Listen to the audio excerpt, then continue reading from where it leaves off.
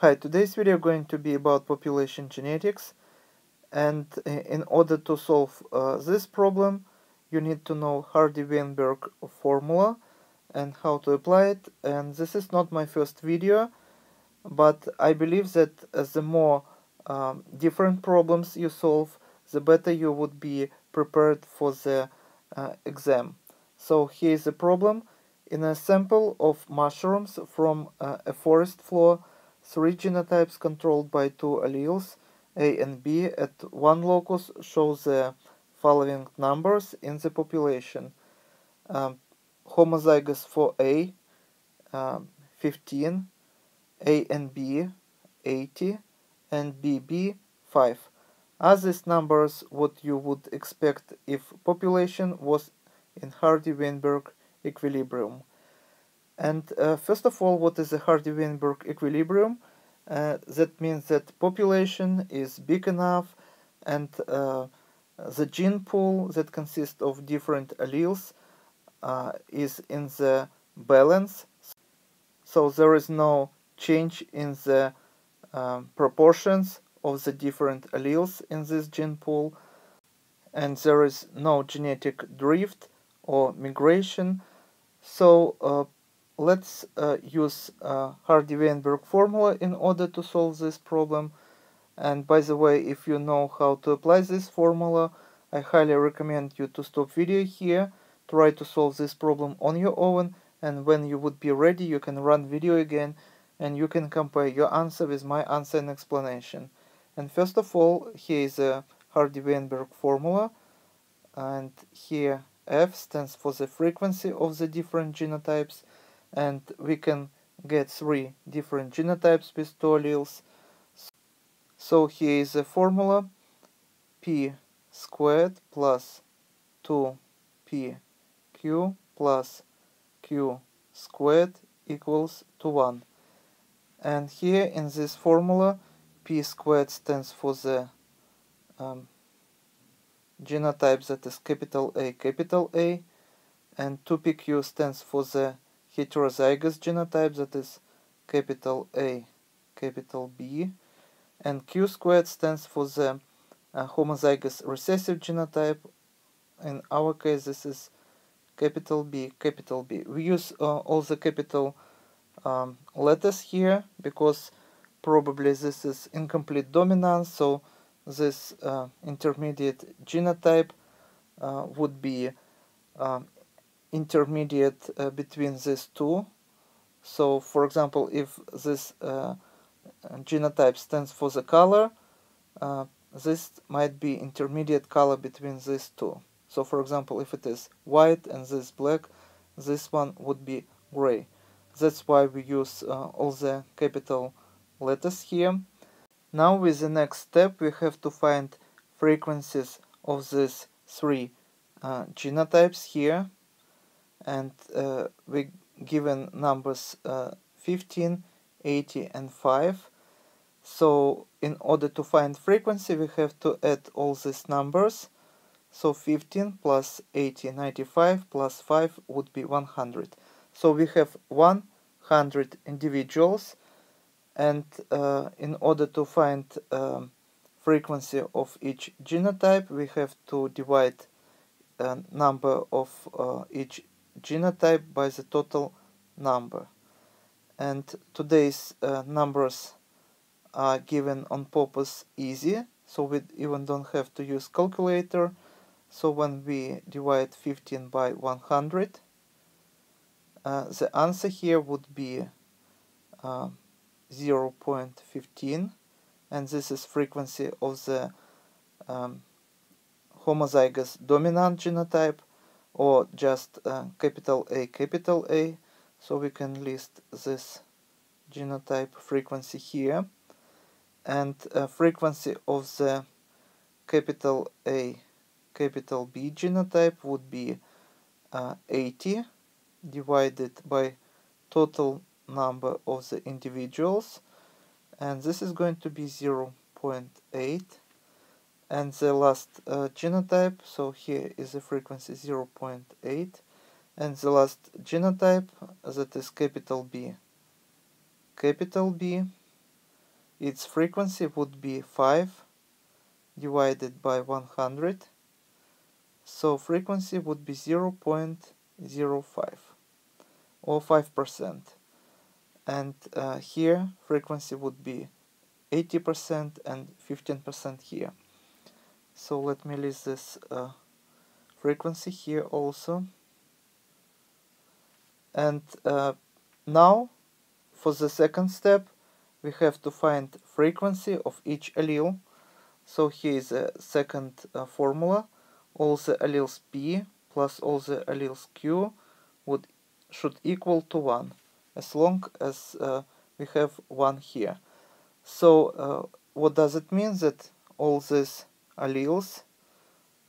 That is here. Those we have three genotypes but actually we have uh, two kind of alleles capital A and capital B.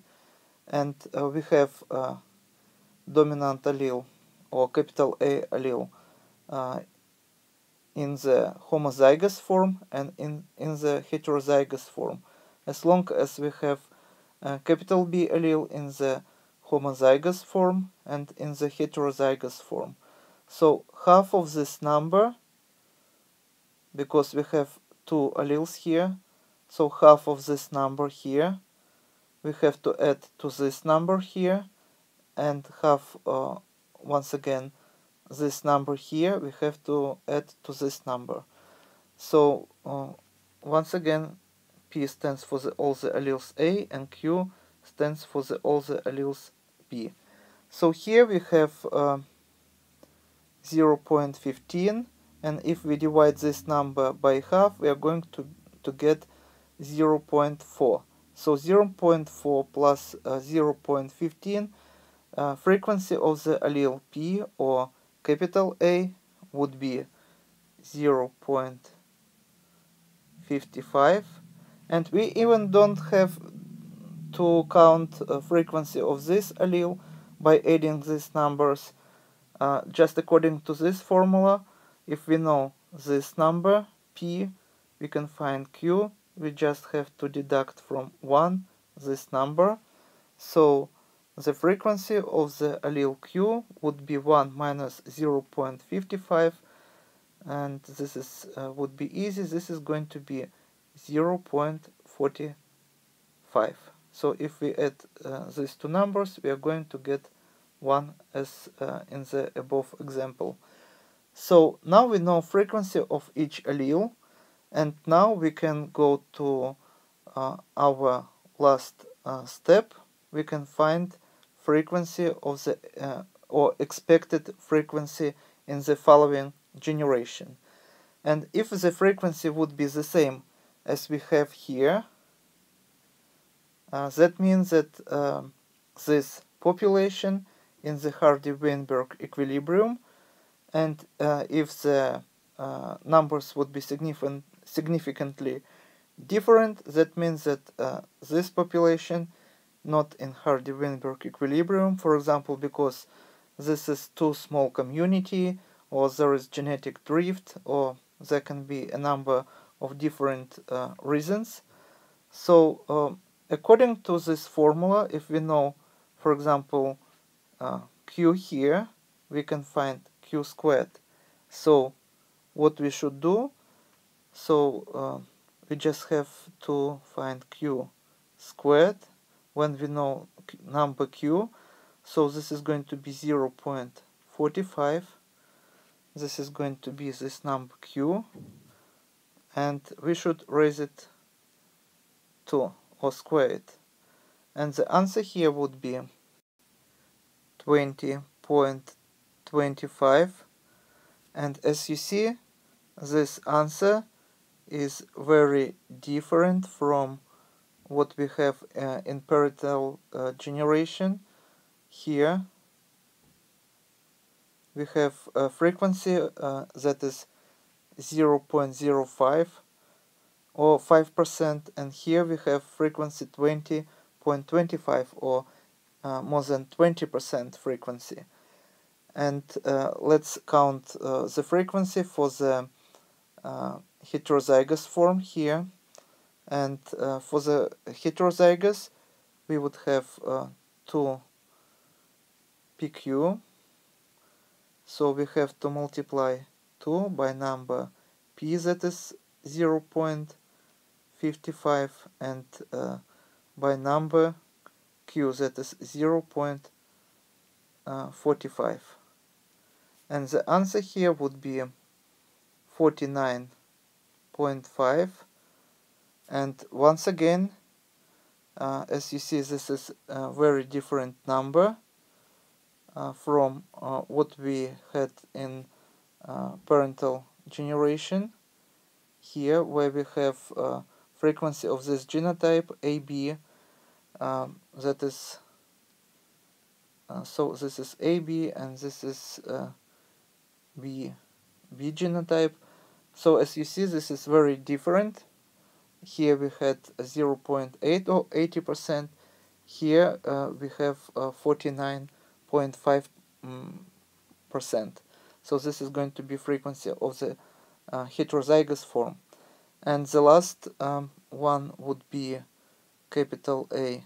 Capital A and frequency would be p squared. We know that um, number p is 0.55 so this would equal to 0.55 squared. And the answer here would be 30.25 and once again as you see this is uh, very different from what we had in uh, our parental generation here. And uh, these numbers tell us that um, this population uh, is not in Hardy-Weinberg equilibrium.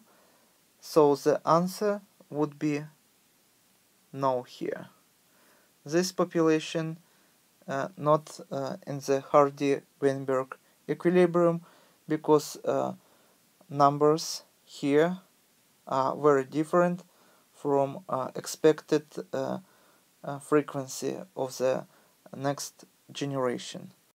And we always can check our answer if we made a mistake or not when we add all these three numbers we should get 1 according to our formula.